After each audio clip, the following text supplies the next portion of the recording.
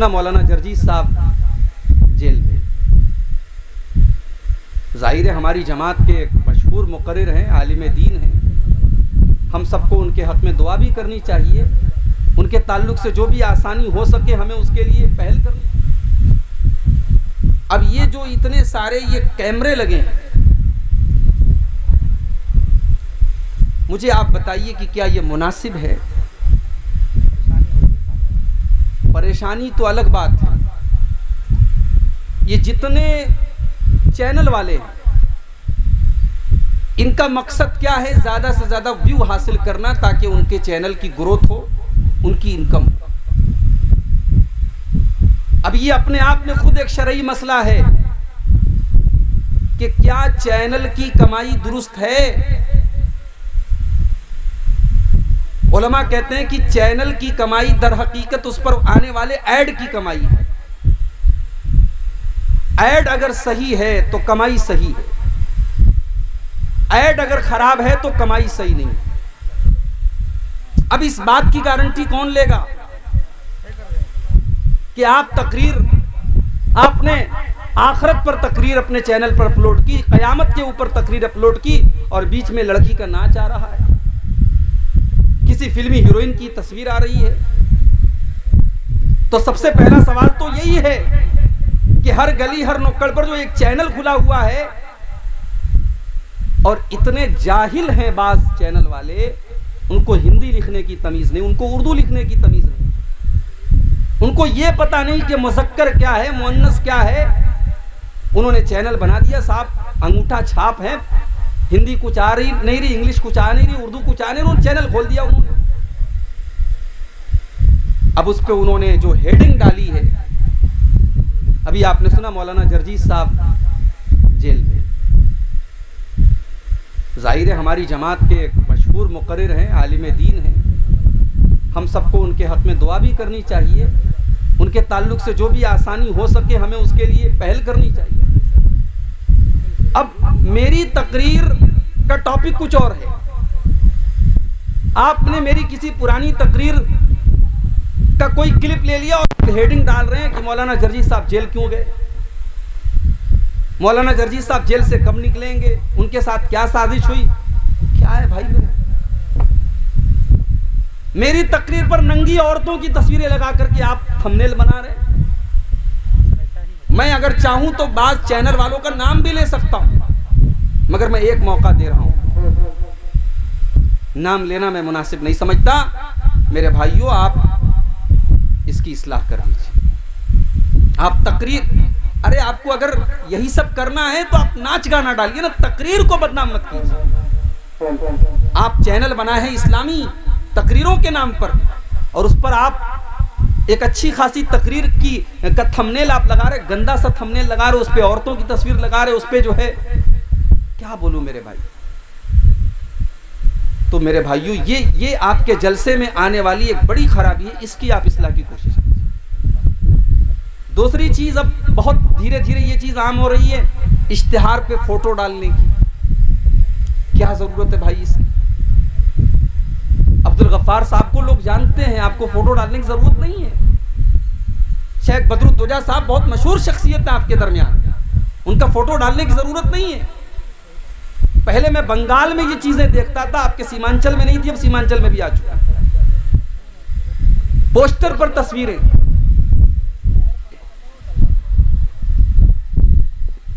उसके बाद बड़े बड़े फाटक और बैनर बनाए जा रहे उसके ऊपर बड़ी बड़ी तस्वीरें। मेरे भाइयों, ये जलसों को आप एक फितना मत बनाइए अल्लाह के वास्ते मुझे बड़ी खुशी हुई अभी कटिहार और आसपास की जमीयत की तरफ़ से कुछ ऐसे भी ऐलानात आए कि अब हम रात भर के जलसे नहीं करेंगे।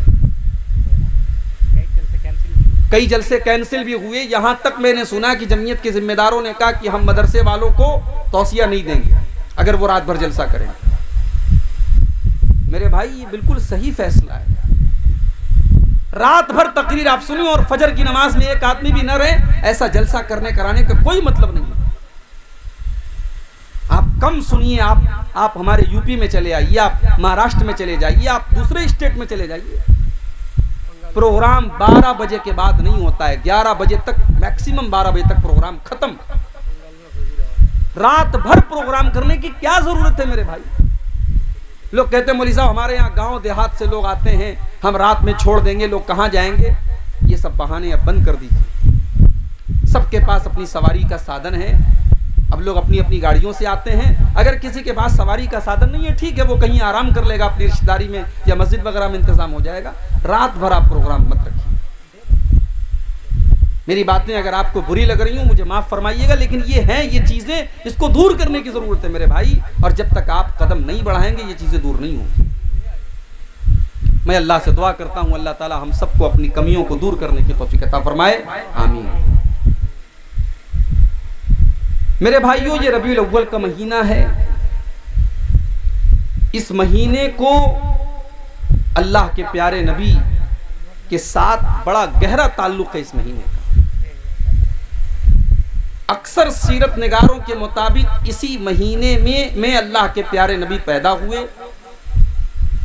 इसी महीने में अल्लाह के नबी दुनिया से गए।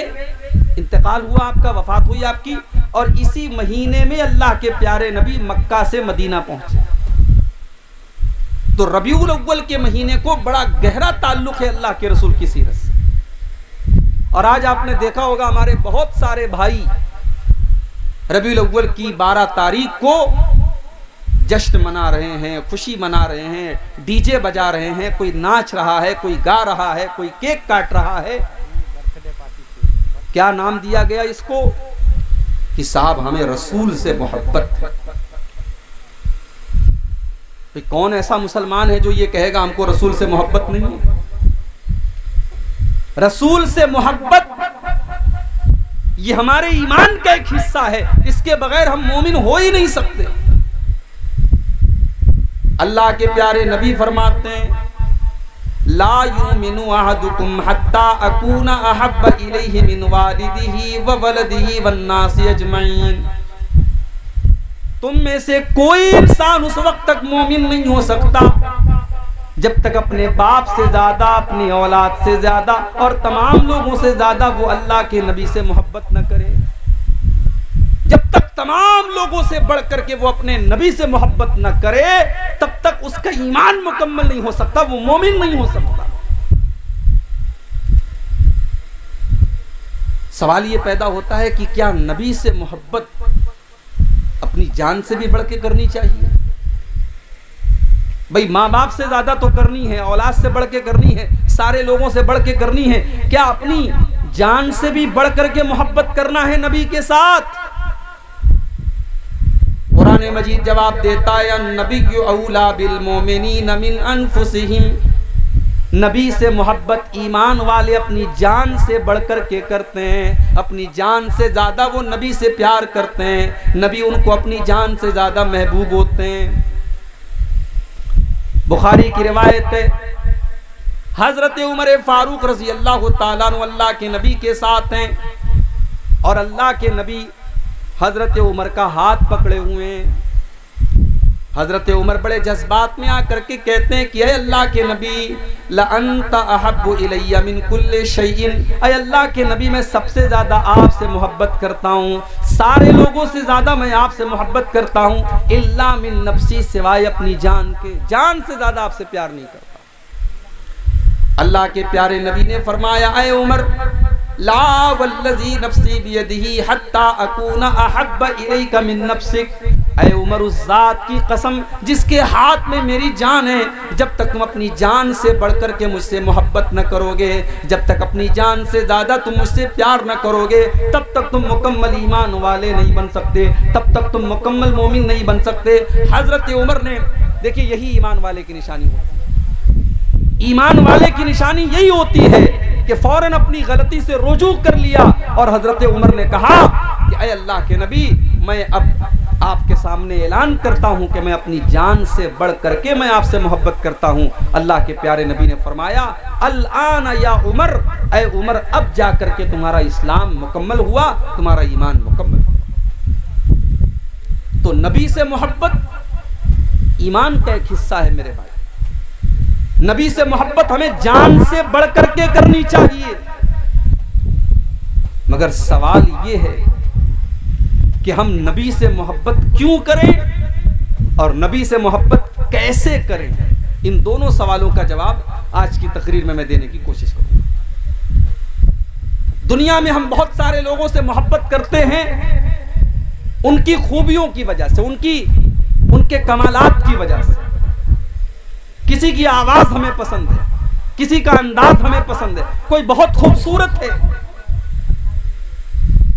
क्रिकेट जो लोग क्रिकेट देखते हैं, उनका उनका कोई पसंदीदा क्रिकेटर है, उन्हें क्रिकेटर से मोहब्बत है कि साहब, उसके अंदर क्रिकेट खेलने की एक अदा है। है कि नहीं? इंसान दुनिया में किसी से मोहब्बत करता है, उसके कमालात की वजह से, उसकी खूबियों की वजह से।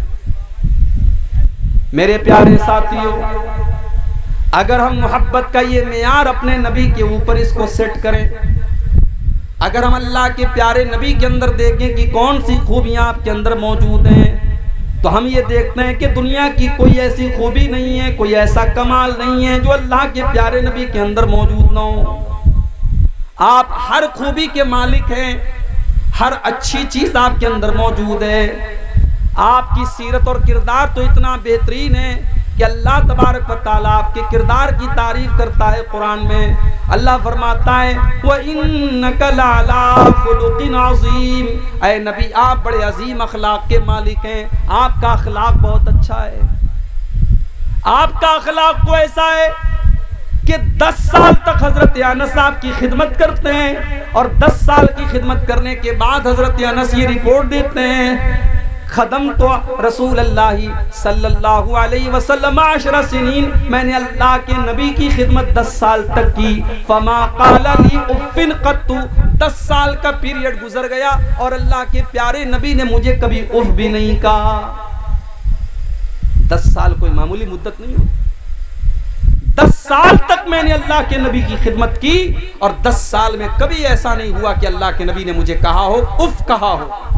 किसी को तकलीफ़ पहुँचाने के लिए सबसे हल्का लफ्ज अरबी ज़ुबान में क्या होता है? उफ। इसीलिए अल्लाह ने कुरान में कहा कि अपने वालदेन को उफ भी मत कहो।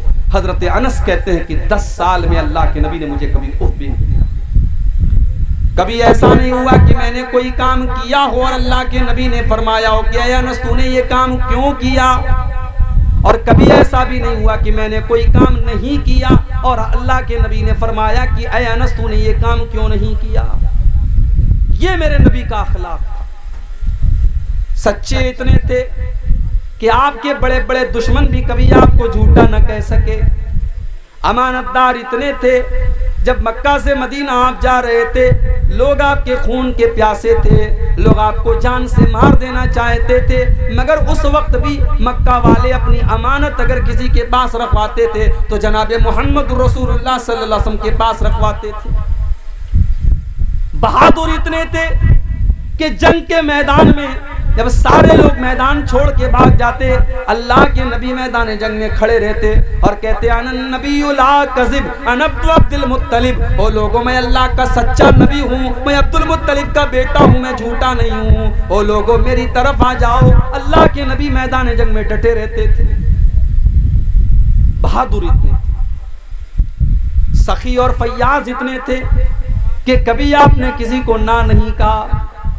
जब भी आपसे किसी ने कोई चीज़ मांगी, आपने कभी किसी को ना नहीं कहा।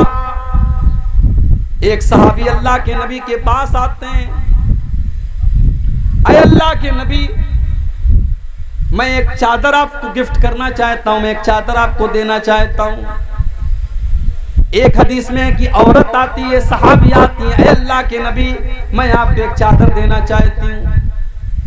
उसने एक बेहतरीन चादर अल्लाह के नबी को ला करके दे दी। इत्तेफाक से अल्लाह के प्यारे नबी के पास उस वक्त कोई और चादर नहीं थी। आपको चादर की ज़रूरत भी थी। आपने उस चादर को कबूल कर लिया और उस चादर को आप पहनने लगे, ओढ़ने लगे। एक सहाबी की नज़र पड़ गई। अय अल्लाह के नबी, ये चादर बहुत अच्छी लग रही है। अय अल्लाह के नबी, क्या आप अपनी चादर मुझको गिफ्ट कर देंगे? क्या आप अपनी चादर मुझको दे देंगे? अल्लाह के प्यारे नबी ने अपनी चादर को उतारा और सहाबी को दे दिया। फ़ौरन उतार करके दे दिया। दूसरे सहाबा ने, उस सहाबी से कहा, तूने ये अच्छा काम नहीं किया। तू जानता है कि अल्लाह के प्यारे नबी को चादर की ज़रूरत है। आपके पास कोई दूसरी चादर नहीं है। और तू ये भी जानता है कि अल्लाह के नबी किसी को ना नहीं करते। जब नबी से कोई चीज़ मांगी जाए तो नबी किसी को ना नहीं करते। तूने क्यों नबी से ये चादर मांगी?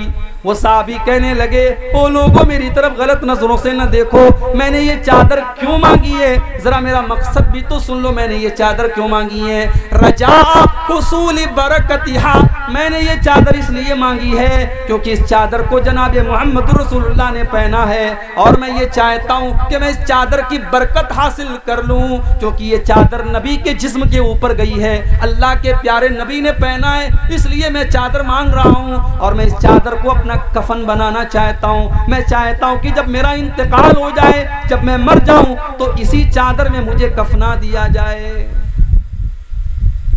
ये अल्लाह के नबी का अखलाक था।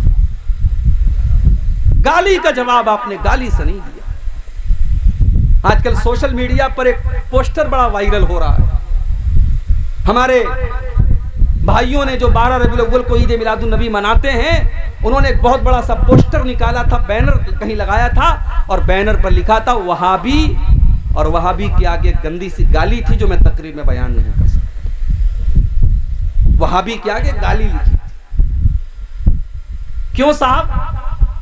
नबी के चाहने वाले हैं और ये गुस्ताख लोग हैं, ये लोग नहीं मानते, इसलिए हम इनको गाली देंगे। वहाबी के साथ हमने गाली का लफ्ज इस्तेमाल ओ लोगों, जरा शर्म करो, जरा शर्म करो। जिस नबी की मोहब्बत के नाम पर तुम आज दूसरों को गाली दे रहे हो, उस नबी ने अपनी ज़ुबान से कभी गाली नहीं दी। उस नबी का हाल तो ये था, अम्मा आयशा फरमाती हैं, माँ कान रसूलुल्लाह सल्लल्लाहु अलैहि वसल्लम फाहिशन वाला मुतफाहिशन। अल्लाह के प्यारे नबी ने कभी अपनी ज़ुबान से गंदा लफ्ज इस्तेमाल नहीं किया, कभी गाली के जवाब में भी आपने गाली नहीं दी। वला अल्लाह के प्यारे नबी बाजारों में चीखने चिल्लाने को पसंद नहीं करते थे। ओ लोगों, जो नबी बाजारों में चिल्लाने को पसंद नहीं करता था, आज उस नबी की मोहब्बत के नाम पर आप डीजे बजा रहे हैं, सारे गाँव को सुना रहे हैं, सारे घर वालों को, सारे मोहल्ले वालों को सुना रहे हैं, रास्ते बंद कर रहे हैं। आज मेरे पास वीडियो आया है मुंबई का, बड़े बड़े बड़े डीजे बज रहे हैं, गाने बज रहे हैं म्यूज़िक बज रहे हैं। जिस नबी ने म्यूज़िक की आवाज़ सुनकर अपने कानों में उंगलियाँ डाली हो, जिस नबी ने म्यूज़िक को शैतान का आला करार दिया हो, आज उस नबी की पैदाइश के जश्न के नाम पर आप म्यूज़िक बजा रहे हैं। केक भी काटा जा रहा है। नबी ने तो अपना नाम नहीं काटा। हज़रत अली रज़ी अल्लाह तला के मौके पर जब अल्लाह के नबी ने कहा कि मोहम्मद रसूलुल्लाह काट करके मोहम्मद इबन अब्दुल्ला लिख दो तो हज़रत अली ने कहा कि मैं रसूलुल्लाह का लफ्ज़ नहीं काट सकता। हज़रत अली ने तो नहीं काटा, लेकिन आज नबी का चाहने वाला नबी का नाम लिखता है और फिर उसके बाद उसको चाकू से काट भी रहा है।